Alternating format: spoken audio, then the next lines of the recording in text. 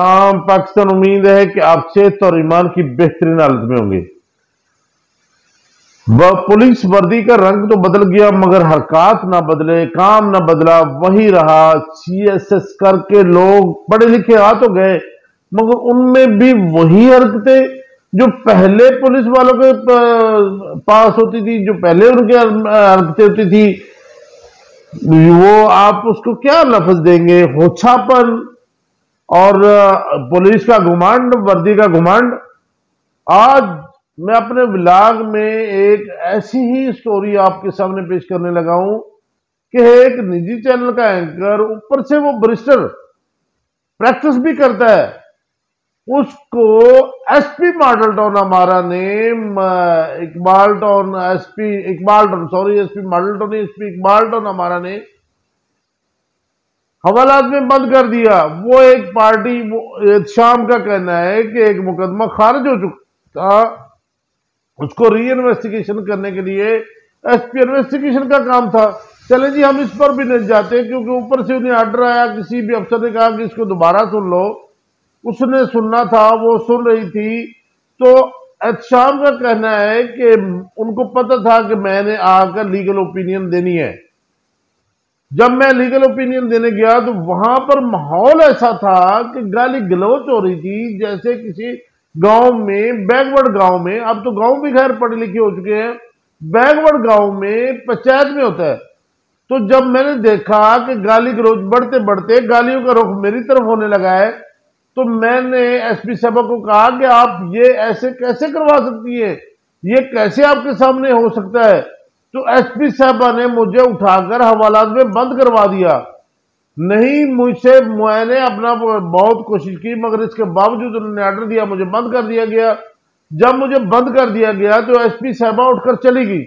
जब एसपी साहबा उठकर चली गई तो ज़ाहिर मैंने उसने रबते किए, जब खबरें भी चलना शुरू होगी बाहर थाने के वो डी डीएसएन जी भी आ गई रिपोर्टर भी आ गए, और उसके वकला दोस्त भी आ गए।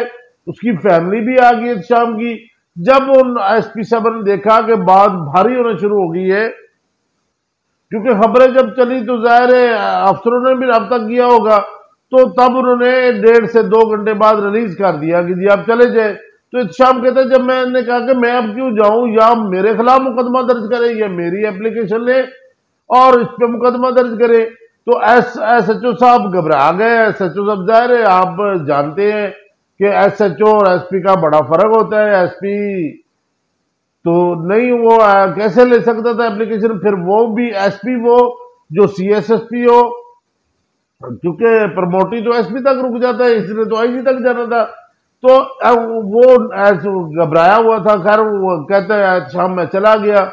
जाने के बाद मीडिया ने मेरे साथ तावन किया मीडिया लोगों ने मजम्मत की तमाम प्रेस क्लब ने, इस्लामाबाद, लाहौर पिंडी, जितने प्रेस क्लब है और वकला का हजरात ने भी मजम्मत की और कुछ दोस्तों ने अगर कहा कि अगर आप इस बात को यहीं पर ख़त्म कर देते हैं, क्योंकि आपने, कोई भी बंदा अगर पीछे चला जाता है, देखिए आप, वो तो एक वकील था, वो अपने क्लाइंट के पीछे गया, एक साफी गया, वो साफी भी था, वकील भी था, इसके बावजूद उसको बंद कर दिया गया तो एक अगर मौजूद शहरी किसी के पीछे चला जाए तो उसका क्या हाल ये करेगी पुलिस? देखे ना, नीचे तो ठीक है जी, वो थंदार को कहते हैं।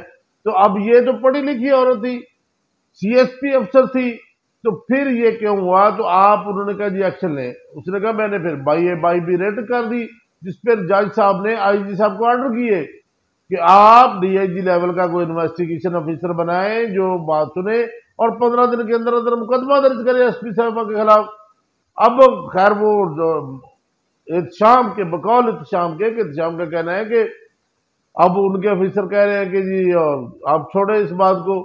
तो शाम का भी कहना है कि मैं पहले तो इस बात को इग्नोर कर रहा था। एक एर औरत होने के नाते कि वो औरत है, चले इस बात को जाने दिया जाए। मगर जब मुझे दोस्तों ने कहा कि जी, अगर आप छोड़ते हैं तो ये साफियों के लिए भी नुकसानदेह आप साफियों का गला घोट रहे हैं। वकला ने कहा, वकला का गला घोड़ रहे हैं, ऐसे तो फिर ये सबके साथ कर दी जाएगी। तो इसलिए फिर मैंने ये रेट की है। अब उन्होंने जो कोर्ट में पेश किया है, उन्होंने एक कलंदरा बनाकर भी पेश किया और कहा कि जी इस्लाम इस तरह आया था तो उसने ये जुर्म जो है वो काम किया था, इसलिए उसको अदालत में बंद किया गया है। तो इच्छाम का कहना यह है, बल्कि हम सब साफियों का कहना यह है कि अगर ये कलंदरा पहले बना था तो फिर आपने उसे मजिस्ट्रेट में क्यों नहीं, मजिस्ट्रेट के सामने क्यों नहीं पेश किया? या किसकी जमानत पर उसे रिहा किया गया है? क्या शाम ने जमानत करवाई थी? नहीं करवाई थी तो फिर ये बैग डेटों में ये क्यों करते हैं? देखिए, आप हमारे भाई हैं, ये जो जितनी भी पुलिस है, हम में से है ना? मेरा कोई भाई होगा, मेरा कोई बेटा होगा, मेरा कोई दोस्त होगा, कोई ना कोई ज़ाहिर, और हमारा साफियों का और आप लोगों का चोली दमन का साथ होता है तो ऐसा आप लोगों को नहीं करना चाहिए। अल्लाह तला हम सब का अमीना सर इजाज़त दीजिए। अल्लाह ने के बाद।